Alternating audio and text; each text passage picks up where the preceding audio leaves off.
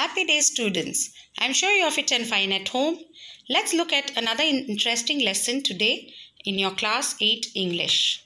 The name of the lesson is Feathered Friend. When I say feathered friend, I'm sure all of us would think about a bird. Yes, it is definitely about a bird, and the name of the author is Arthur C. Clarke.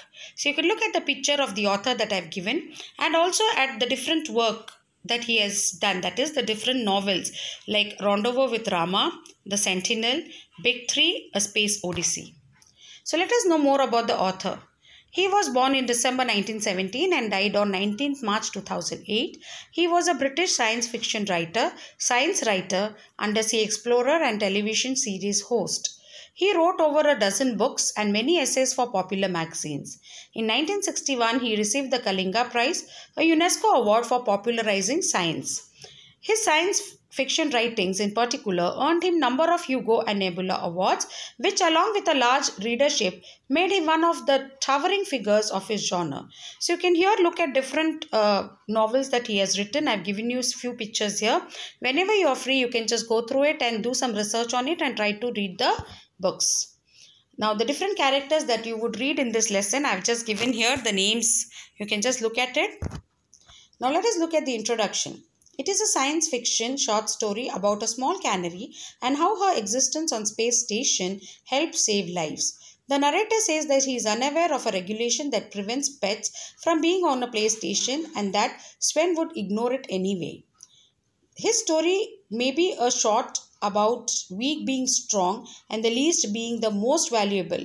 Sven probably would not be a construction worker on Earth, and Claribel was overlooked as a possible alarm system because of her cost being so cheap.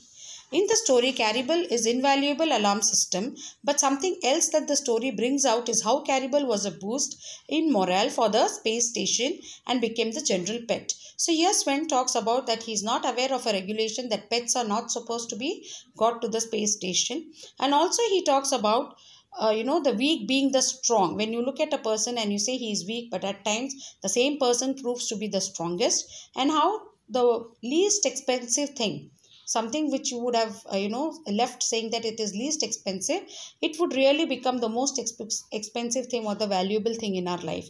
So the po- uh, the author compares here two things and it is also about how canary who is not considered to be very valuable but she becomes an alarm system in the space station and also becomes the general pet. So if you look at the summary the narrator says that he is unaware of the regulation that is that is you know preventing him from getting a pet on the space station but sven ignores it anyway. So here he is a construction worker space construction worker at the space station and he gets he gets a little fellow here canary which got him a bonus being under 150 pounds. Unlike his heart bound counterpart sven could you know sit back and look at his work without fear of falling off the building Sven was smart to have Claribel as a pet because it took her close to nothing to support her. The author found Claribel after hitting the head on an angle beam. So he actually found her when he hit his head on an angle beam. He saw Claribel for the first time, although he had been hearing her. So he could hear to her uh, voice or noise that she made. But when his head hit an angle beam, that time he first saw Claribel.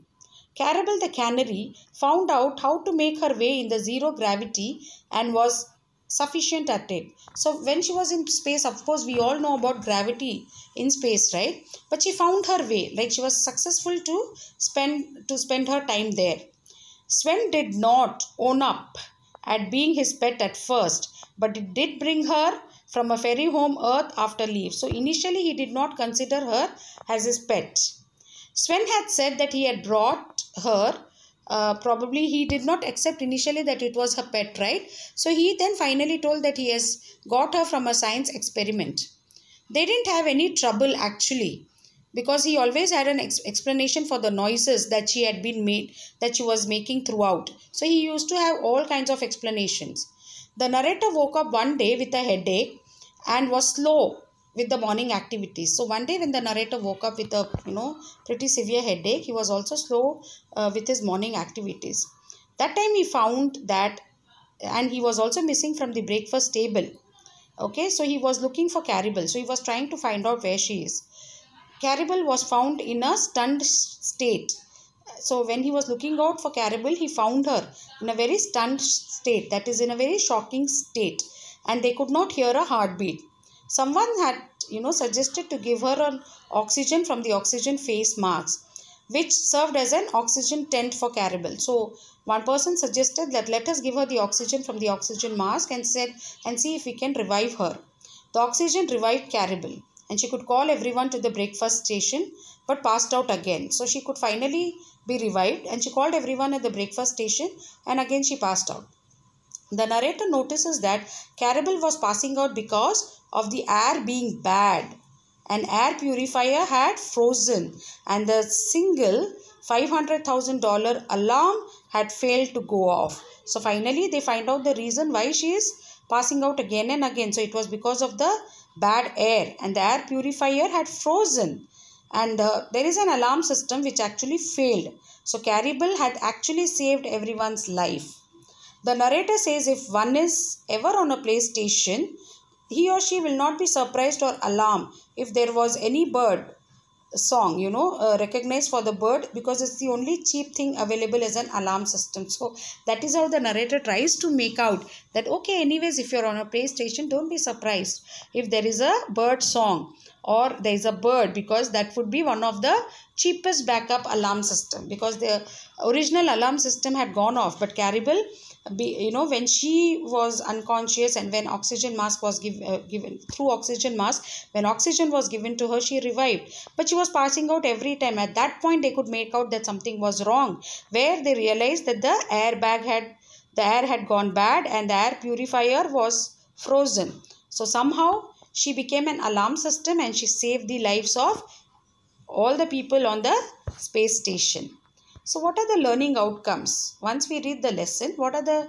learning outcomes? To understand what can be considered as not valuable on earth can be most useful in another environment. So, when we look at birds, not many, not everyone would consider the bird as a valuable thing you know we may say okay it's after all a bird but something that we always consider as invaluable on earth it can definitely be of more use in another environment.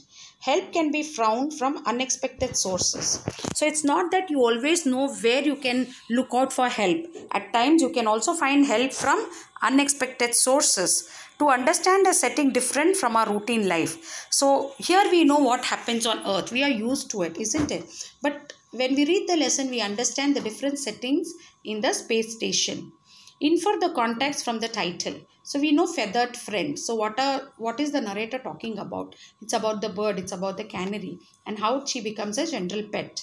Identify the elements of science fiction in the story. So there are several things that you read throughout the story like gravity you know alarm system. There are so many things that you read. So we can understand the elements of science fiction in the story so I hope children you have understood the characters, the introduction, the plot, the summary of the story.